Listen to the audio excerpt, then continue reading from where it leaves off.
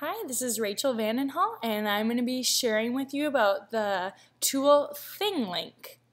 I signed up for a teacher account, and I'd say that'd be the most helpful. I'm going to first of all show you how to create your own ThingLink, and then I'll show you some other ways to explore on ThingLink. So you go to this red button up here, Create. Basically, you upload an image from either a hard drive, web, you can import it from Facebook, or from Flickr. So you choose an image, and I'm going to choose an image of adjectives. That's something that we study in fifth grade. So once you choose your image, it'll come up here. And the point of ThingLink is that you can attach content to this image. So I'm going to click to add and tag and you're going to want to choose an icon for that tag. I'm going to choose an A here because I want it to be the first one to remember. This is where you link your image, you use a link or an image address. So I'm going to use this game I want students to play about adjectives and adverbs. So I'm going to copy that and then I'm going to paste that here. I can also type something. Um, I'm going to tell students, please play this game. So this might be something that I use on my smartboard and show to students or that I share the link with and that students work on on their own. So then we're going to save this tag. Okay, I'd also like to do another tag. Um, this time, I'm going to search for content on the ThingLink website. So I'm going to look up a sleeping kitten. Alright, so there's a video here. I already previewed it. So I'm to go ahead and click this one. And I'm going to change my icon to B. It's the second thing I want students to look at. And please watch the video and write down three adjectives to describe this kitten. And I'm going to save that tag as well. So now I have two tags on my image. Feel free to do more than that. Change the title um, because it usually defaults to the last thing that you typed in. So then I'm going to save my image. Now this is where you can either go back and edit your image if you don't like how it turned out.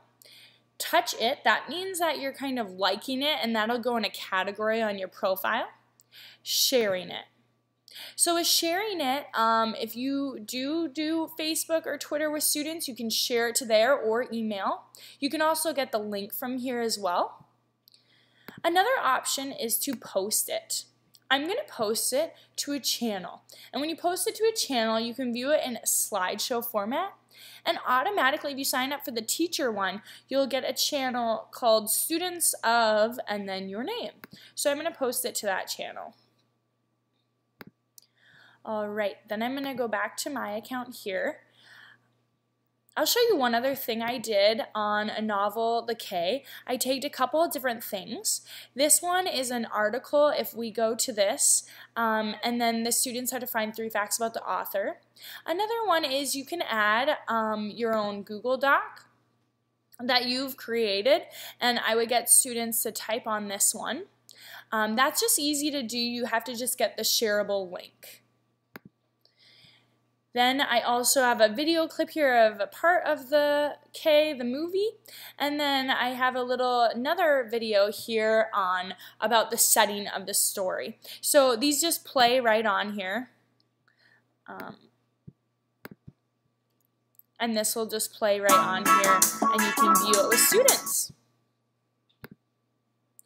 Okay, so the next thing I want to show you is um, that this is your site However, students will also be able to go on this even if they don't have an email. You go to your groups there. And students of Rachel Vanden Hull, you are the manager of the group, so you can manage the group. You can register students to the group without requiring an email address. You just have to make sure to write down their password and their email and login for your students. Okay, and that's free to do as well. One last thing I want to show you is you can use this search button and explore what other people have already created on ThingLink and you can use what they've created. So for example, I could type in the Eiffel Tower. And different things come up here. I'm going to go to this map of France. Say students are studying about France. There's a bunch of different links on this one. This is more, some of these links are more the upgraded version, but you can use what someone's already created. They have video clips and pictures. Now you can do something neat and you do remix.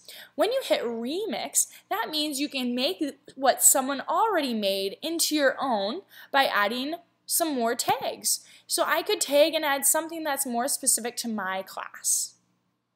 So that's all I have for you now. I think that ThingLink is a great resource for teachers and would be valuable in sharing in the class and having students view on their own computers or maybe even having students creating their own ThingLinks. Thanks for watching.